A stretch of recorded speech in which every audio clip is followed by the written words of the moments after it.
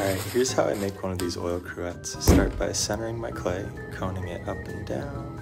Then I open it up and start pulling up the walls. Pulling them pretty thin, but leaving some clay at the top. Get that sponge out of here.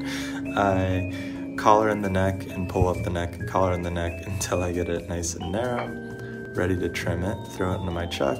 I do a pretty light trim on these, beveling an edge into the bottom, smoothing it out with my finger, and there you go.